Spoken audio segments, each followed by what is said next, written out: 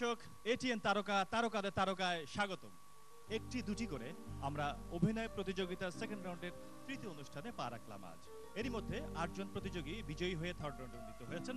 আজ আরও আটজন অভিনয়ের লড়াই মুখোমুখি হচ্ছেন। আপনাদের বেছে নেওয়া হবে এক, দুই, তিন, চারজন বিজয়ীকে এবং এই পুরো ব্যাপারটিতে আপনাদের সাথে রয়েছি আমি নওয়াদের ধ্রুব। এবং আমি আছি তৃষা। আপনারা যে যেখানে বসে আমাদের অনুষ্ঠানটি দেখছেন এটিএন বাংলার পক্ষ থেকে আপনাদের সবাইকে জানাচ্ছি প্রাণ ঢালা শুভেচ্ছা। আমরা ইতিমধ্যেই আমাদের ফার্স্ট রাউন্ড কমপ্লিট করেছি। শুরু হয়েছে আমাদের সেকেন্ড রাউন্ড আর সেকেন্ড রাউন্ডের আজ তৃতীয় পর্ব। তো শুরু করা যাক আমাদের আজকের এটিএন তারকা তারকাদের তারকা। দর্শক মণ্ডলী অভিনয় কিন্তু একটু কঠিন কাজ। অবশ্য আমরা আমাদের জীবনের নানা ক্ষেত্রে সবাই কম বেশি অভিনয় করে থাকি। না আমার কি মনে হয় জানেন? অভিনয়ে সবচেয়ে বেশি পারঙ্গম নারীরা। ওই যে কথায় বলে না স্বয়ং বিধাতাও নারীদের মন বুঝতে পারেন না। না না একদম ভুল কথা। আসলে বোঝার মতো ক্ষমতা থাকলে কোনো কিছু কিন্তু কঠিন বলে মনে হয় না। আর তারই প্রমাণ মিলবে আমাদের আজকের মঞ্চে আমাদের প্রতিযোগীদের অভিনয়ের দক্ষতা দিয়ে। চলুন দেখা যাক আমাদের আজকের প্রতিযোগীরা বিচারকদের মন গলাতে পারে কিনা। ঠিক আছে। দেখা যাক তৃষা তারা কতটুকু সফল হন তবে তার আগে আসুন দর্শক মণ্ডলী আমরা আমাদের আজকের বিচারকরা কারা রয়েছেন তাদের সম্পর্কে জেনে নিই। বিচারকদের আসনে প্রথমেই রয়েছেন নাট্যকার নির্দেশক অভিনেতা অধ্যাপক মমতাজউদ্দিন আহমেদ। আরও রয়েছেন বাংলা চলচ্চিত্রের অবিসংবাদিত নায়িকা কবরী সরোয়ার। এবং আরও রয়েছেন অভিনেতা নাট্যকার চলচ্চিত্রকার এবং মিডিয়া ব্যক্তিত্ব আব্দুল্লাহ আল মামুন। পরিচিত হলাম আমাদের আজকের অভিনয় প্রতিযোগিতার বিচারকদের সাথে। বাকি আছেন আমাদের আজকের আটজন প্রতিযোগী। চলুন তাদের সাথে পরিচিত হয়ে নেওয়া যাক। আমি মৃন্ময় চক্রবর্তী যশোর অঞ্চল থেকে। আমি সাবিনা ইয়াসমিন পম্পি আমি এসেছি রংপুর অঞ্চল থেকে। আমি আমিনুর ইসলাম আমি রংপুর অঞ্চল থেকে এসেছি। আমি উইদাত আকবর সোনিয়া অঞ্চল যশোর। আমি সোহরাব হোসেন হিরো এসেছি চট্টগ্রাম থেকে। স্বর্ণালী শর্মা চম্পা চট্টগ্রাম থেকে।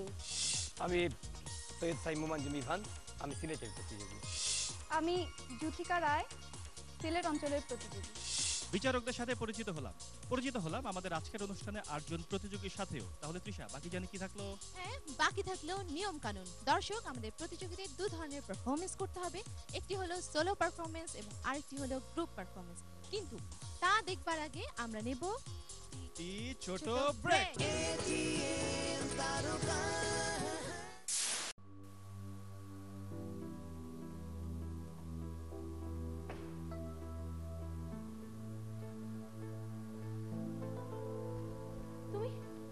তুমি এমন করে কাঁদছো কেন ওথেলো? তুমি আমার সাথে বিশ্বাসঘাতকতা করেছ ডেস্টিমোনা। তুমি আমার স্ত্রী হয়ে অন্য পুরুষের সাথে ভালোবাসা লিপ্ত হয়েছো। আমি? অসম্ভব ওথেলো। আমি কি তোমাকে ছাড়া অন্য কাউকে ভালোবাসিনি? তুমি তুমি কেন এমন করছ? কাকে নিয়ে তুমি এমন মিথ্যা সন্দেহ করছ? তুমি তাকে জানো ডেস্টিমোনা। কে সে? না না। তুমি কার কথা বলছো? ডেস্টিমোনা আমি রোগ শোক দারিদ্র মানুষের সব ধরনের সঠতা সহ্য করতে পারি কিন্তু কিন্তু কিন্তু তোমার বিশ্বাসঘাতকতা আমাকে ভেঙে টুকরো টুকরো করে দিয়েছে ডেস্টিমোনা। আমি আর সহ্য করতে পারছি না ডেস্টিমোনা। আমি আমি আমি আর সহ্য করতে পারছি না ডেস্টিমোনা।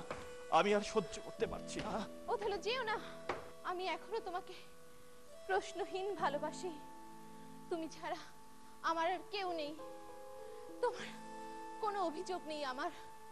আমি জানি আমি জানি তুমি নিশ্চয়ই আমার কোনো ভুলকে শুধরে নেওয়ার জন্য আমার সাথে এমন করছ। তুমি তুমি কাকে নিয়ে এমন মিথ্যে সন্দেহ করছ ওথেলো কাকে নিয়ে এমন মিথ্যে সন্দেহ করছ? সহ্য করতে পারছি না ডেস্টিমোনা সহ্য করতে পারছি না।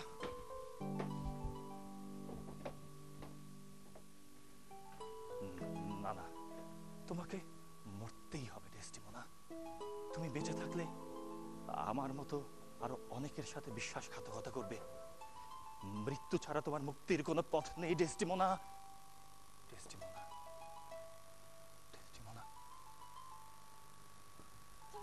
তুমি কেন এমন করছ ওথেলো কি হয়েছে তোমার? প্রার্থনা করো ঈশ্বরের কাছে। আমি যেন তোমার আত্মাকে হত্যা করতে না পারি। তোমার বিশ্বাসঘাতকতার অবসান হোক ডেসডিমোনা দাঁড়াও এভাবে বলো না। তুমি তুমি আমাকে ভুল বুঝছ। কি হয়েছে আমাকে বুঝিয়ে বলো। বুঝিয়ে বলো আমাকে করুণা করো। তুমি কাকে নিয়ে এমন সন্দেহ করছ? Othello Cassio. ক্যাসিও? তোমাকে মরতেই হবে ডেস্টিমোনা। তোমাকে মরতেই হবে। প্রিয় দর্শক আমরা বিশ্ববিখ্যাত নাট্যকার উইলিয়াম শেক্সপিয়ারের ওথেলোর শেষ দৃশ্যের কিছু অংশ অভিনয় করবার চেষ্টা করছিলাম। তবে আমাদের প্রত্যাশা কিন্তু ভিন্ন। হ্যাঁ আমাদের প্রত্যাশা। আমরা চাই এই মঞ্চে থেকে বেরিয়ে আসুক এমন শিল্পী যারা বিশ্বের দরবারে প্রতিনিধিত্ব করবেন বাংলাদেশের অভিনয়কে। দর্শক আমাদের প্রথম প্রতিযোগীকে ডাকছি। আমাদের প্রথম প্রতিযোগী হচ্ছেন যশোরের মৃন্ময় চক্রবর্তী। শুরু হচ্ছে আমাদের সোলো পারফরমেন্স আসছেন মৃন্ময় চক্রবর্তী। বেঁচে থেকেই বা কি লাভ? কিছুই পারবে না রোধ করতে সেই ভাগ্যলিপি। যে ভাগ্য নির্ধারিত মোর হাতে, এ আমার দায়, এই অসুরকে স্তব্ধ করা। তা না হলে আমরা সবাই লুপ্ত হব। লুপ্ত হবে সুরের সকল স্রষ্টা। আত্মবিক্রয় করে খ্যাতিমান হব? কি লাভ তাতে? তাতে কি সংগীত পাবে উচ্চমান? না। সে খ্যাতি সঙ্গীতের পুনর্বার করবে নিম্নগামী, কারণ তা পাবে না কোনো উত্তর সাধক। তাহলে কি প্রয়োজন তার? আমিও স্বপ্ন দেখি। আমিও স্বপ্ন দেখি মাঠে মাঠে ধান, দুগ্ধবতী গাভী। আমিও স্বপ্ন দেখি ঘরে ঘরে সুঠাম শিশু, নগ্ন দেহ, হাসি হাসি মুখ। আমিও স্বপ্ন দেখি শাল প্রাংশু যুবকের কণ্ঠ ভরা গান। আমিও স্বপ্ন দেখি জলাচলের আগল ভাঙা সুবর্ণ সকাল। আমিও স্বপ্ন দেখি নবান্নের উৎসব শীতের পিঠা। আমিও স্বপ্ন দেখি লাজ নম্র বধুর চকিত পলায়ন। আমিও স্বপ্ন দেখি চারণ কবি কণ্ঠে। আনন্দের গান। জীবন আমার একটাই, তাই তো আছি প্রতীক্ষায়। মৃত্যু চিন্তা উৎপীড়িত করেছে যখন, কিংবা ঘাতক নিয়েছে পিছু, ভেবেছি তখনও। হয়তো এখনও কোনো জীবন অচিন্তিত পুরস্কারে ধন্য করে দেবে মোরে। তুরিও আনন্দে উজ্জীবিত হবে, দেখা দেবে স্বপ্নাবেশ প্রেরণার আনন্দ কুসুম কিংবা ঘৃণ্য কোনো অতিথির সাথে পান ভোজনের কালে দেখা হতে পারে আরও কোনো ভয়ঙ্কর শত্রু আরও আরও কোনো সাংঘাতিক আঘাত হয়তো ভুলুণ্ঠিত করতে পারে মরে। আপনি এটা কি গদ্যে কথা বললেন না কবিতায় কথা বললেন? একটু কাব্যিক ছন্দে বলেছি। একটু কাব্যিক ছন্দ শব্দটা কি আবার? যেহেতু চারণ কবি সে একটু কথা এবং এই নাটকের এই পর্বে সে আর জন রাজকবির সাথে কথা বলছে। একটু কাব্যিক আপনি মাঝখানে তো মাঝখানে তো সুর দিয়েও কথা বলেছেন। জি একটু একটু বলেছি। কেন?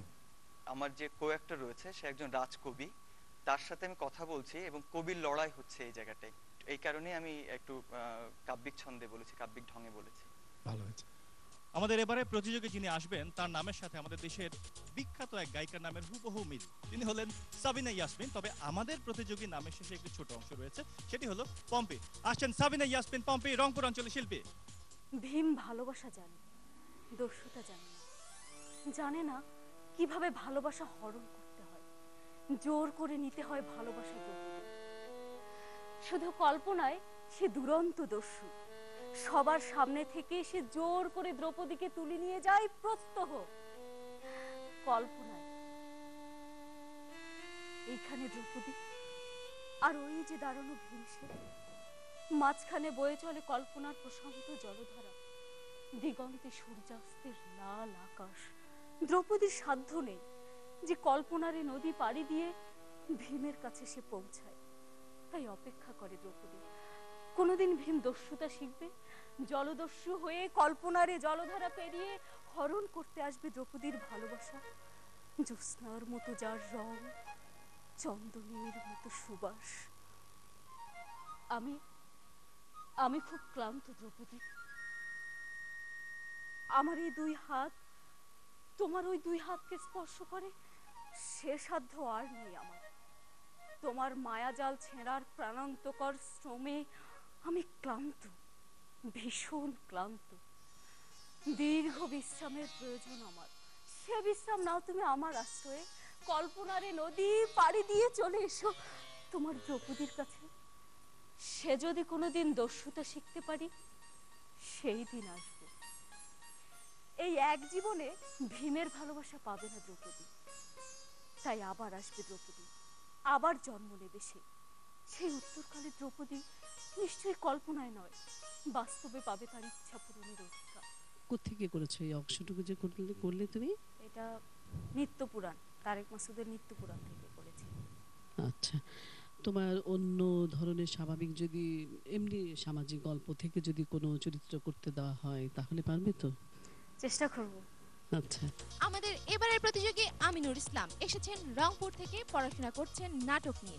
দেখা যাক তিনি আমাদের বিচারকদের মন গলাতে পারেন কিনা। আর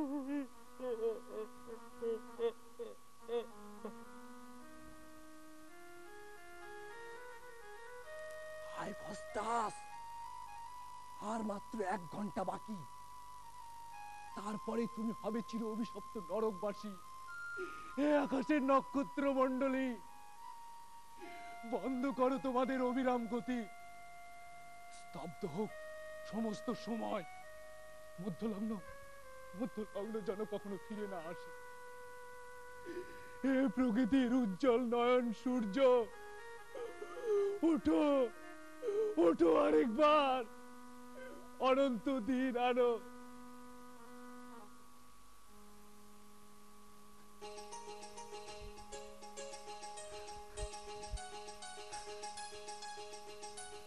নতুবা একটি ঘন্টায় যেন হয়ে যায় একটি মাস। একটি সপ্তাহ বা একান্তই একটি দিন।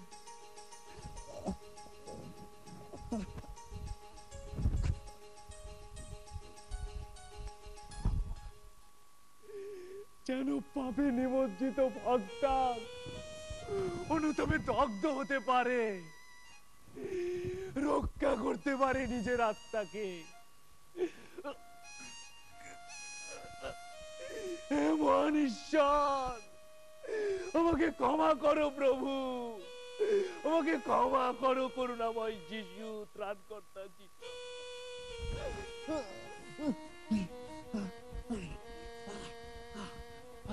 ও লুসিফার যিশুর নামে তুমি ক্রুদ্ধ।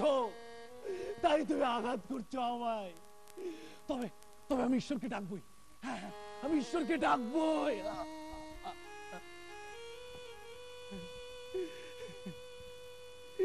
কিন্তু কোথায় ঈশ্বর? কোথায়? নেই, কোথাও নেই। মহাপ্রভু, আমাকে ক্ষমা করো। তাহলে তাহলে কোথায় যাব আমি? কোথায়? এসেছিলাম আমি পর্বতমালা। পতিত আমার উপর।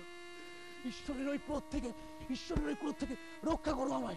না না। না না এ এ ধরনে এ এ বসুমতী মাতা আমার দিদা আশ্রয় দাও আমায়। তুমি কতদিন হলো অভিনয় করছ? স্যার আমি পাঁচ বছর হলো অভিনয় করছি। আচ্ছা এই যে অভিনয়টা তুমি করলে এই মাত্র এটাতে কোন অভিনয়ের কোন ব্যাপারটা একটু বেশি আঙ্গিক না বাচিক? আঙ্গিকটা এসেছে। আচ্ছা ফিজিক্যাল অ্যাক্টিংটা বেশি হয়েছে। ঠিক আছে তুমি ভালো। তোমার কণ্ঠস্বরও ভালো আঙ্গিক অভিনয় ভালো। আমি তোমার সাফল্য কামনা করি। উইদাউট আকবর সোনিয়া আমাদের চতুর্থ প্রতিযোগী তিনি এসেছেন যশোর থেকে। আসছেন সোনিয়া। প্রতীক্ষা। প্রতীক্ষা জিনিসটা আসলেই খুব খারাপ। আমার একজন ছেলে বন্ধু টেলিফোন করেছিল সকালে। সে বলেছিল আমাকে নিয়ে একটা লং ড্রাইভে যেতে চাই। সুন্দর প্রাকৃতিক দৃশ্যের মাঝখানে ওই ইন্ডাস্ট্রিয়াল এলাকায়। কিন্তু আমি তাকে না বলে দিয়েছি। আমার ডেট কার সঙ্গে তা অবশ্য বলিনি। আমাকে ভজানোর জন্য না যা সুন্দর সুন্দর কথা বলছিল আমি নাকি ভেরি গুড ফান ফান কথাটাই ফানি। মানুষ বুঝি তামাশা হতে পারে? আমার মেয়েরা আসলে কোনো মেয়েকে খোঁচা দিতে ইচ্ছা করলেই ছেলেরা তাকে বলে ফান। কথাটা কিন্তু আমার কাছে মনে হয় একটা গালি। অথচ অনেক মেয়েরাই আছে কথাকে খুব পছন্দ করে। কেউ কেউ তো হতে পারলে ভীষণ গর্ব অনুভব করে। আচ্ছা আচ্ছা এমন হতে পারে আমার ডেট অন্য কারোর সাথে চলে গেছে? না না না। তা হতে পারে না। ও এমনটি করতেই পারে না। আমি ভালোবাসি মানে আমার ভালো লাগে, ও আমাকে ভালোবাসে, খুব ভালোবাসে।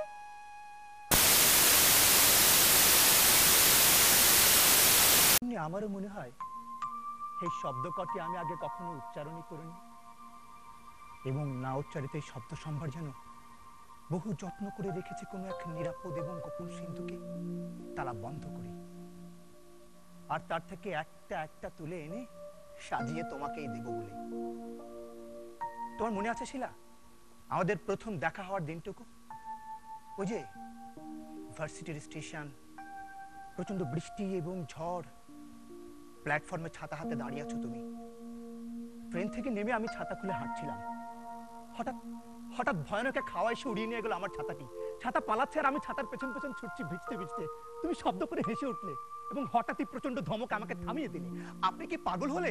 এভাবে ঝড়ের সঙ্গে পাল্লা দিয়ে ছুটতে পারবে? বাদ দিন তো। ভিজে আপনার কি অবস্থা হয়েছে একবার দেখুন তো। আসুন, আমার ছাতার নিচে আসুন। আহা, আসুন তো। আমি অবাক হয়েছিলাম। সত্যি, আমি ভীষণ অবাক হয়েছিলাম। না না অচেনা মেয়েটির ধমকে নয়, বরং অচেনা মেয়েটির অচেনা আহ্বানে। সেদিন তোমার ছাতার নিচে দাঁড়িয়ে প্রতিজ্ঞা করেছিলাম, ভালোবাসার এই আশ্রয়টুকুকে কিছুতেই হারাতে দেব না। নতুন কথাগুলোর ভিড়ে তোমাকে এবার একটা পুরনো কথা শোনাই। কাল রাতে আমি আমাদের প্রথম দেখা হওয়ার দৃশ্যটাকে স্বপ্নে দেখলাম। সেই প্রথম হারিয়ে না যেতে দেওয়ার প্রতিজ্ঞাটুকু আমি কান পেতে শুনতে পেলাম। প্রাণ ভরে সেই দৃশ্য দেখতে দেখতে আমি যেন মুগ্ধ হয়ে যাচ্ছিলাম। হঠাৎ দেখলাম হঠাৎ দেখলাম মুগ্ধতা সে দেয়াল ভেঙে কে যেন তোমাকে উড়িয়ে নিয়ে যাচ্ছে। ছাতা হাতে দাঁড়িয়ে তুমি যেন কোথাও উড়ে যাচ্ছ কারও হাতছানিতে। ভালোবাসার প্রতিজ্ঞাটুকু জপতে জপতে আমি ছুটছি আমি দৌড়ছি। তুমি আমাকে ছেড়ে চলে যাচ্ছ শিলা! শিলা! আপনি যে অভিনয় করে দেখালেন এটা কি স্বপ্নে? আপনার নায়িকাকে বলছেন এরকম কিছু? নাকি পার্কে? কোথায়? এটা হচ্ছে আসলে একটা পার্কে। এটা পার্কে দেন আউটডেতে সে এসছে ওর ফিয়ান্সিকে নিয়ে দেন ওখানেই সে দুজনে কথা বলছেন? জি। তাহলে পার্কে এত জোরে কথা বলা যায়? অন্য লোকে শুনবে না? না হয়তো বা নিরিবিলে কোথাও অন্য পার্কের কোনো কোনো এক কথাগুলো বলছে। পার্কে তো লোকেই থাকে এত জোরে কি আর কথা হয়? আপনি ভালো করেছেন তবে অভিনয়ের ক্ষেত্রে অনেক সময় মাথায় রাখতে হবে যে কার সাথে অভিনয় করছেন স্থানটা কি আশেপাশে কি লোক আছে নাকি আবেগ সব কিছু মিলিয়ে যে নিজের কন্ট্রোলে যেন থাকে অভিনয় এই এটা কিন্তু মাথায় রাখতে হবে। হিরোর পরে আসছেন একজন হিরোইন। তিনি চট্টগ্রামের শিল্পী স্বর্ণালী শর্মা চম্পা আমাদের ষষ্ঠ প্রতিযোগী।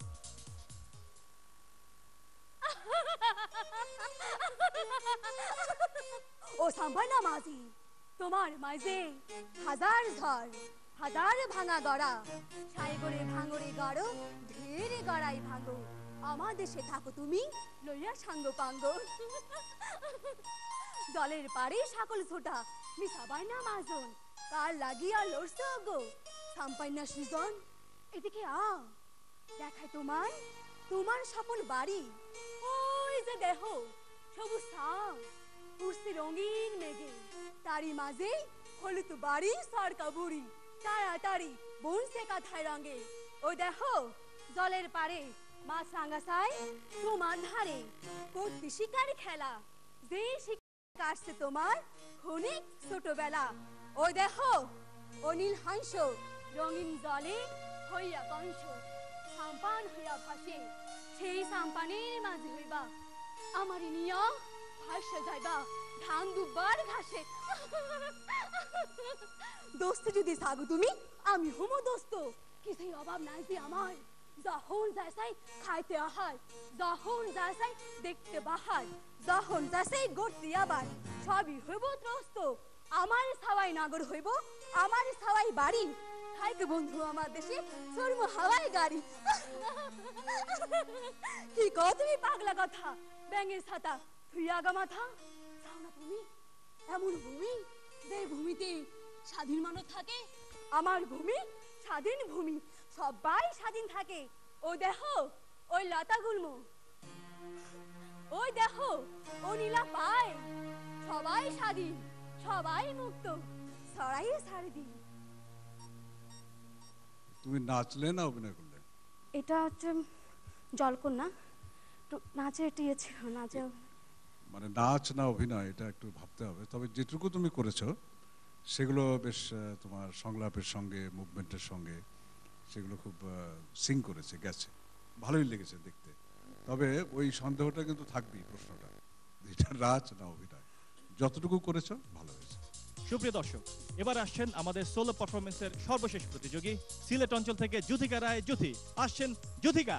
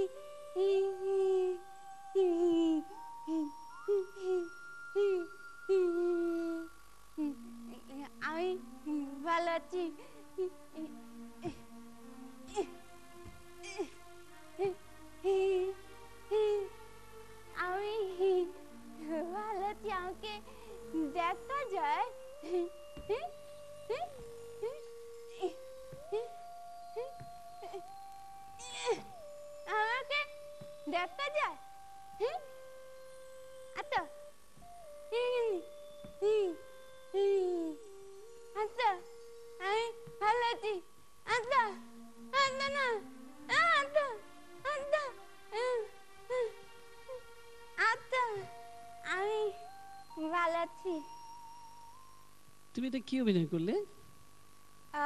আসলে আমি নিজের রচনায় একটা প্রতিবন্ধী চরিত্র অভিনয় করতে চেয়েছি।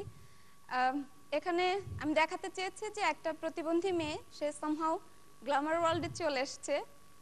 সে তার এখন মাকে বোঝাতে চাচ্ছে যে মা আমি এখানে এসে পড়েছি। কিন্তু ঠিক বোধগম্য হলো না তোমার অভিনয়টা? আজকের অভিনয় প্রতিযোগিতার প্রথম পর্ব শেষ হলো অর্থাৎ সোলো পারফরমেন্স শেষ। এবারে আমরা দেখব গ্রুপ পারফরমেন্স এই ফাঁকে আপনাদেরকে একটু অবসর দিতে চাই। নিতে চাই একটি ছোট্ট ব্রেক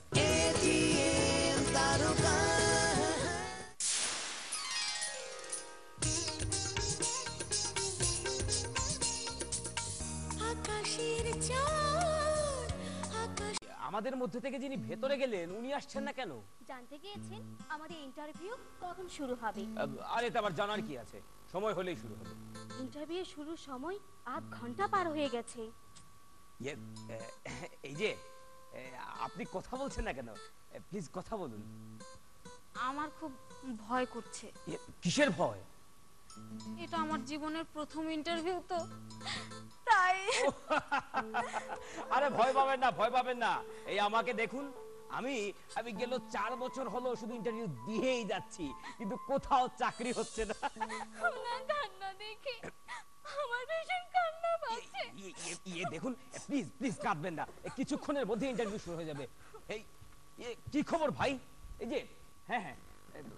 আমাদের ইন্টারভিউ কখন শুরু হবে? দেরি হবে ভাই। এমডি সাহেব এখন এসে পৌঁছাননি। এ কি আপনাদের দুজনের চোখ ভেজা কেন? দেখে মনে হচ্ছে আপনারা বড় কোনো অন্যায় করে ফেলেছেন। আরে বুঝলেন না ওনারা নতুন ইন্টারভিউ দিতে এসেছেন তাই ভয়ে। আরে ডোন্ট ওয়ারি ডোন্ট ওয়ারি এই আমাকে দেখুন। আমি মাত্র সাতবার ইন্টারভিউ দিয়েছি বুঝলেন? আমি নতুন নই তবু ভয় করছি। এখন আমার কি হবে? আহা আপনি সিনেমার নায়িকাদের মতো প্যান প্যান করে কথা বলবেন না তো? দয়া করে বুকে সাহস আনুন বুঝলেন? সাহস আনুন। আচ্ছা ইয়ে, আমার মাথায় একটা বুদ্ধি এসেছে। বলব? বলো। তাহলে বলি আমাদের ইন্টারভিউ শুরু হতে তো লেট আছে। আমরা এই সময়টুকুতে কিছু এক্সারসাইজ করতে পারি। যে এক্সারসাইজগুলো করলে আমাদের সাহস বাড়বে। বলেন কি? আমাকে বলুন না। প্লিজ আমাকে বলুন না। ঠিক আছে। তাহলে বলি মনে করুন এটাই একটা ইন্টারভিউ বোর্ড আর এখানে একজন হবেন এমডি একজন পিওন আর দুজন ক্যান্ডিডেট রাইট এই ইন্টারভিউ প্র্যাকটিসটা করলে আসলে ইন্টারভিউতে গিয়ে আর কোনো সমস্যাই হবে না। এক্স্যাক্টলি এটা হচ্ছে বা, ডেল কার্নেগের থিওরি রাইট হ্যাঁ? হ্যাঁ ডেল কার্নেগির আচ্ছা ঠিক আছে। তাহলে আমি শুরু করছি। হ্যাঁ। ধরুন মিস্টার শামীম আপনি হচ্ছেন এমডি আপনি আপনি এখানটায় বসুন। হ্যাঁ এখানটায় না? এখানটায়। আচ্ছা ঠিক আছে। আচ্ছা আপনি এখানটায় বসুন। আর আর আমি হচ্ছি পিয়ন। আর মিস নিপা আপনি হচ্ছেন ক্যান্ডিডেট আমার একটা কথা আছে। কি কথা আবার? প্রথমে আমি নই প্রথমে উনি। আর এটা তো আসলে ইন্টারভিউ বোর্ড না। নকল। তবু আমার ভয় করছে। আমার পা দুটো ভীষণ কাঁপছে। আরে সত্যি পা দুটো কাঁপছে? আর ওনাকে বসান। আপনি দয়া করে বসুন বসুন। আচ্ছা ঠিক আছে ঠিক আছে। তাহলে তাহলে মিস শিলা। মিস শিলা হাজির! আহা এভাবে ডাকছেন কেন? মনে হচ্ছে আপনি আদালতে আসামিকে ডাকছেন। সুন্দর করে ডাকুন না। সরি স্যার মিস শিলা আপনি আসুন।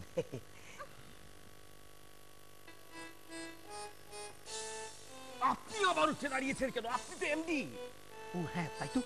আমি তো এমডি হ্যাঁ। আমি তো ভুলে মিস শিলা আপনি বসুন। থ্যাংক ইউ ওয়েলকাম হ্যাঁ এবার ক্যান্ডিডেটকে প্রশ্ন করুন। দয়া করে আমাকে কোনো প্রশ্ন করবেন না। আমি জবাব দিতে পারব না। কিন্তু ইন্টারভিউ বোর্ডে তো আপনাকে প্রশ্ন করতেই হবে। আমার ভীষণ শীত লাগছে। কথা বলতে গেলে দাঁতগুলো কেমন খটখট খটখট আওয়াজ করে। আমাকে ক্ষমা করুন। উনি নার্ভাস হয়ে গেছেন। আপনি কথা বলছেন কেন? আপনাকে তো ডাকা হয়নি। সরি সরি আচ্ছা মিস শিলা আপনি জানেন কি? মানে আপনার আপনার আপনার এ, এ, কি কি জিনিস ভালো লাগে? বুঝলাম না। এ, বাবা, না, না মানে আপনার আপনার কাকে ভালো লাগে? কেন ভালো লাগে হ্যাঁ? সব প্রশ্ন নয় অন্য কোনো প্রশ্ন করুন।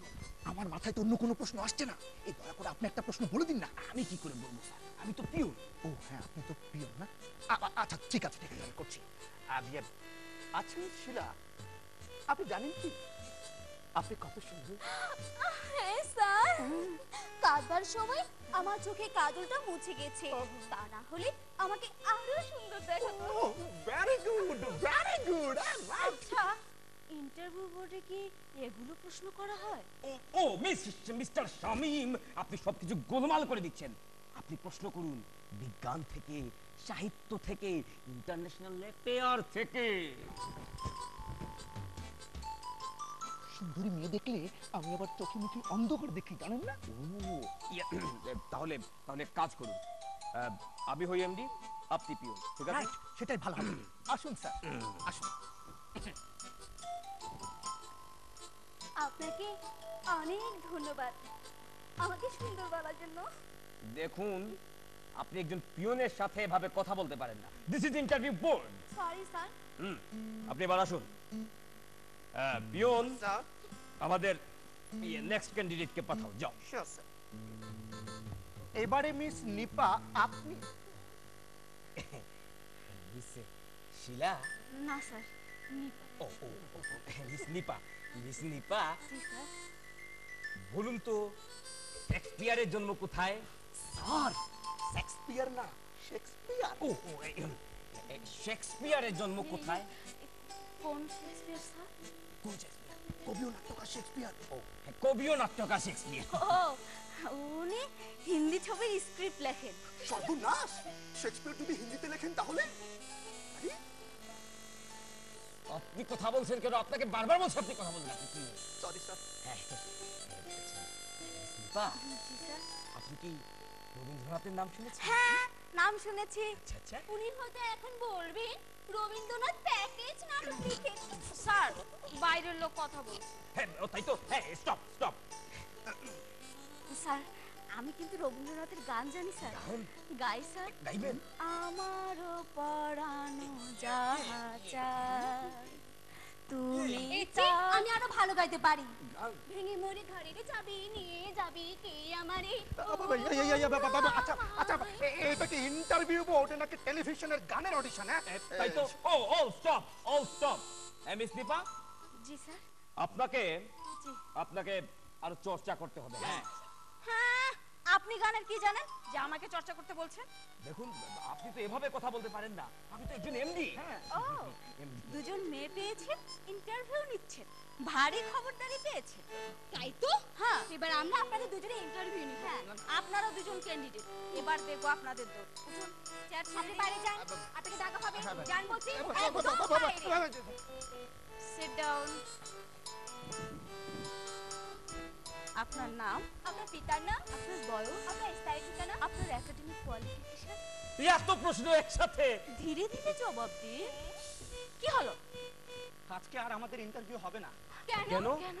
আমাদের এমডি সাহেব শ্বশুর বাড়ি বেড়াতে গেছেন। বলেন কি? হ্যাঁ। এবার আমরা দেখব গ্রুপ টুর পারফরমেন্স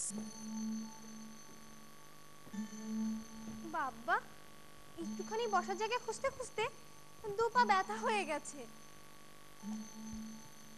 এই ওই তো ওখানে একটা বেঞ্চ ফাঁকা আছে। ওটা আমি আগে দেখেছি বলেই তো তোমাকে এখানে নিয়ে এলাম। আচ্ছা। ঢাকা শহরে শুধু গাড়ির জ্যামই হয় না।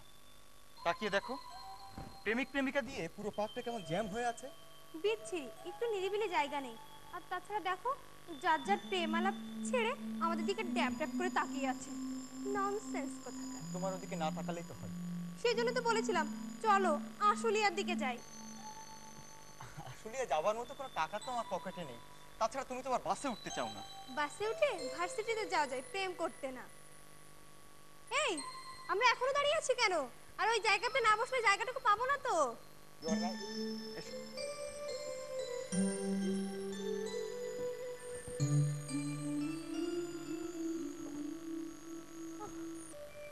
আমার দাদি আমার বাবাকে বলেছে সে নাকি নাত বউ না দেখে মরেও শান্তি পাবে না।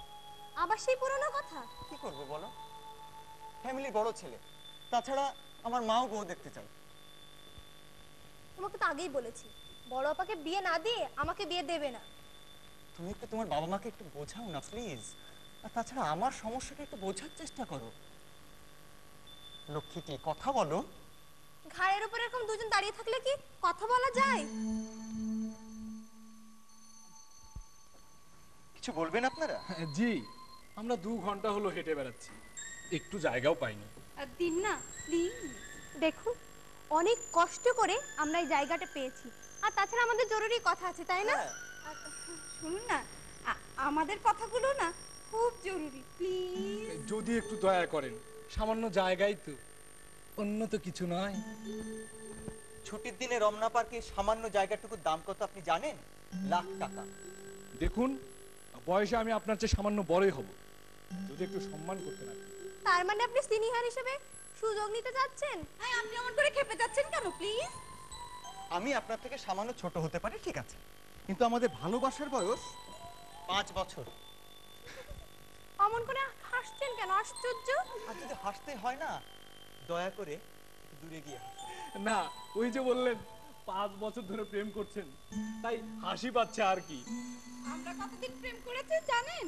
আমরা প্রেম করেছি সাত বছর তাই না গো? হ্যাঁ আর বিয়ে করেছি দু বছর হলো। তার মানে? স্বামী স্ত্রী? হ্যাঁ তাহলে পার্কে প্রেম করতে এসেছেন কেন? বাড়ি ঘর নেই? আপনারা কি আকাশে থাকেন নাকি?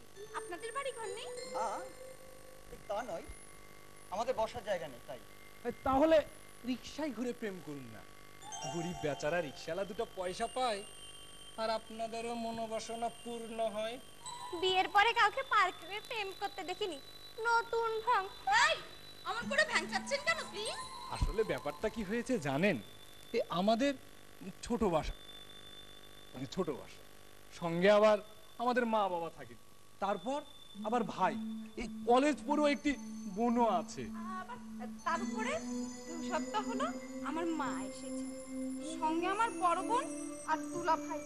ওদের না আবার তিন তিনটা বাচ্চা। এ, তাই তো বলি। প্রেম তো দূরের কথা।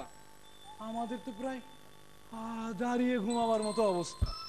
তবুও আপনারা একে অপরকে দেখতে পান। আমাদের তো সাত দিনে একবার। তাও যদি আপনারা এসে ডিস্টার্ব করেন আমরা কোথায় যাব বলুন? আরে আরে এ, প্রেম আর বিয়ে তো এক কথা নয়। আর তাছাড়া আপনাদের জন্য তো সাত দিনে একদিন দেখা হওয়াই যথেষ্ট।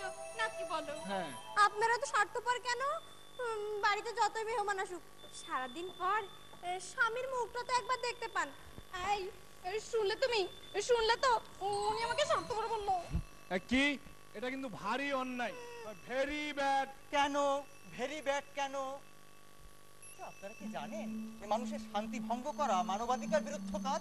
প্লিজ দয়া করে আমাকে মানবাধিকার আইন শেখাবেন না। আপনারা আমাদের সাথে গায়ে পড়ে ঝগড়া করছেন কেন? শুনুন আমরা মানে আমি আরও দুজন দুজনকে ভীষণ ভালোবাসি। আর আমরা একে অপরকে ছেড়ে বাঁচবই না। আমরাও তো তাই তাই না বলো? হ্যাঁ প্রতিযোগিতার শেষ পর্যায়ে চলে এসেছে আমরা। দেখে নিয়েছি সোলো পারফরমেন্স এবং সেই সাথে গ্রুপ পারফরমেন্সও এরই মধ্যে আমাদের প্রতিযোগীরা অনেকটা টেনশন নিয়ে বসে আছেন ফলাফল শুনবার জন্য। কিন্তু তার আগে নেব আমরা ছোট্ট একটি ব্রেক বহুল প্রতীক্ষিত ফলাফল ঘোষণার পালা। সম্মানিত বিচারকদের রায়ের ভিত্তিতে এই আটজন প্রতিযোগী থেকে চারজন প্রতিযোগী যাবেন। থার্ড রাউন্ডে বাদ পড়বেন বাকি চারজন। হ্যাঁ আমাদের প্রতিযোগীরা বেশ খানিকটা টেনশন মাথায় নিয়ে ওয়েট করছেন ফলাফল শুনবার জন্য। তারা তো প্রস্তুতি আমাদের বিচারকরাও প্রস্তুত এই প্রতিযোগীদের ভাগ্য লেখা হাতে নিয়ে। আমি আমাদের বিচারকদের মধ্য থেকে পুরো অনুষ্ঠানটি সম্পর্কে খানিকটা বিশ্লেষণ করার জন্য অনুরোধ করছি। আমাদের বাংলা চলচ্চিত্রের প্রথিতযশা অভিনেত্রী কবরী সারোয়ারকে। অভিনয় হচ্ছে একেবারে ভিতর থেকে একটা জিনিস। ওটা তোমাকে মাথার মধ্যে ধারণ করতে হবে, নিতে হবে, বুঝতে হবে। কি চরিত্র করছ, কীভাবে অঙ্গভঙ্গি বলো, কথা বলো, হাত ইভেন হাতগুলিও কোথায় রাখবে, এটাও কিন্তু একটা ফ্যাক্টর হয়ে দাঁড়ায়। তারপরে হচ্ছে তোমাদের অনেকের আর কি আঞ্চলিক দোষে বেশ দুষ্টু আছে কিছু। সেগুলিকেও তোমরা ওভারকাম করতে হবে। যেমন পড়তে হবে। আমাদের তার স্যার কিন্তু বলেছেন যে কবিতা পড়া, তারপরে ইংরেজি পত্রিকা পড়া, যেমন বিবিসির অনুষ্ঠান দেখা, এই জিনিসগুলি কিন্তু খুবই মূল্যবান। তোমরা ভালো থেকো। আমাদের অনেক দোয়া, আশীর্বাদ তোমাদের জন্য। অনেক শুভাশিস তোমাদের জন্য। ফলাফল কিন্তু আমাদের হাতে এসে পৌঁছেছে। নড়ে চড়ে বসুন। প্রতিযোগীরা প্রস্তুত? দর্শক মণ্ডলী ওনাদের চেহারার দিকে তাকিয়ে দেখুন টেনশন এক একজনের কি অবস্থা? হার্টবিট মনে হয় কয়েক গুণ বেড়ে গেছে নাকি? তার বলতে কথা না বাড়িয়ে আমার মনে হয় রেজাল্টে আমরা চলে যাই সরাসরি। ভালো প্রস্তাব। তৃষা আমার মনে হয় আপনি শুরু করুন আপনার হাত দিয়ে শুরু হোক এসব প্রতিযোগীদের বিজয় আমি করব এই কঠিন কাজটি আমার মনে হচ্ছে আপনি না না আপনার কাছে কোনো কাজই তো কঠিন মনে হয় না আপনি? সবই পারেন। তাই? আচ্ছা। আচ্ছা ঠিক আছে। তাহলে আমি ঘোষণায় চলে যাই। হ্যাঁ, হ্যাঁ। কি প্রথমে কাদের ডাকবো বিজিতদের না জয়ীদের? আপনি প্রথম আজকে যিনি জয়ী হয়েছেন তার নামটি ঘোষণা করুন। তার নামটি না? আচ্ছা ঠিক আছে। প্রথম নামটি হলো টেনশন টেনশন।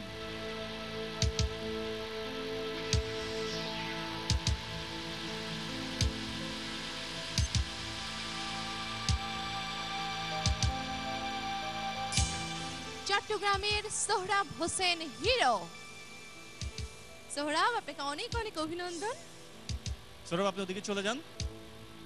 এবারে দর্শকবিন্দু, দ্বিতীয় বিজয়ীর নাম ঘোষণা করা হবে। আমি একটু ওনাদের কাছে যাই, সাহস দিই। কি মনে হয়? আপনি পারবেন? নাকি বাদ পড়বেন? বড় বড় দম ছাড়লে তো হবে না কিছু বলুন? চেষ্টা করেছি সবই উপরালার ইচ্ছা। দেখা যাক উনি পারেন কিনা।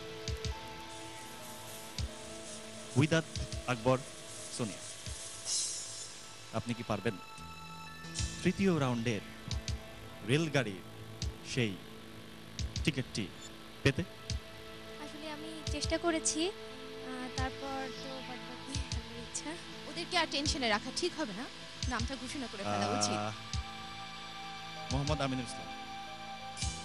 আপনার কাছে পদ প্রিয় দর্শক আমাদের দ্বিতীয় বিজয়ী।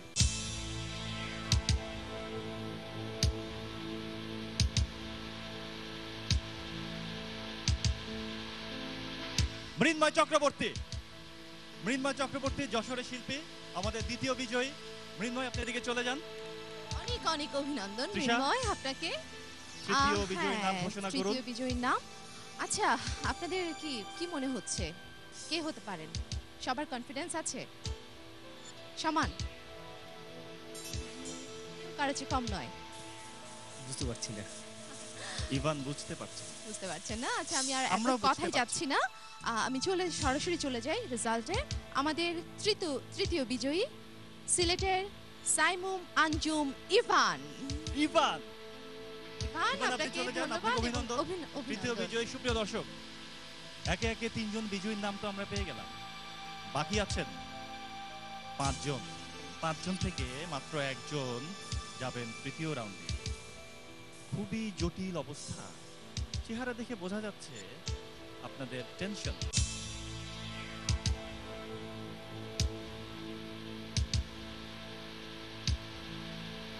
আমি ঘোষণা করি নামটি। আর দুজন। আমাদের চতুর্থ বিজয়ী। আমরা কাউন্ট ডাউন করি। Five four three two one Sabina Yasmin Pompi রংপুরের প্রতিযোগী। পম্পি আপনাকে অভিনন্দন। আমরা পেয়ে গেলাম আমাদের চারজন বিজয়ীকে। সৌরভ হোসেন হিরো। সাবিনা ইয়াসমিন পম্পি মৃন্ময় চক্রবর্তী এবং সৈয়দ সাইমু মানজুম, ইভান। তাদেরকে অভিনন্দন। আর যারা জয়ী হতে পারেননি, অর্থাৎ যারা বিজিত, তাদের জন্য রইল শুভকামনা। আসলে জয়, পরাজয়, হাসি, কান্না সব প্রতিযোগিতায় রয়েছে, এটাই মেনে নিতে হবে। আমরা আশা করছি, উইশ করছি যারা বিজিত, তাদের পথযাত্রা অনেক দূর এগোবে। তো আমাদের অনুষ্ঠানের টানবার সময় হয়ে গেছে। হ্যাঁ, প্রিয় দর্শক আমাদের অনুষ্ঠানে আমরা একেবারে শেষ পর্যায়ে চলে এসেছি। আপনাদের ভালোবাসাকে পুঁজি করে আমাদের এই অনুষ্ঠান ধীরে ধীরে এগিয়ে যাচ্ছে থার্ড রাউন্ডের সেই জমাট জমজমাট অভিনয়ের লড়াইয়ের দিকে। আগামী অনুষ্ঠানে আবারও নতুন আটজন প্রতিযোগী নিয়ে আপনাদের সামনে আমরা হাজির হব। সে পর্যন্ত সবাই ভালো থাকুন নিরাপদে থাকুন। আর চোখ রাখুন এটিএন বাংলার পর্দায়। শুভরাত্রি।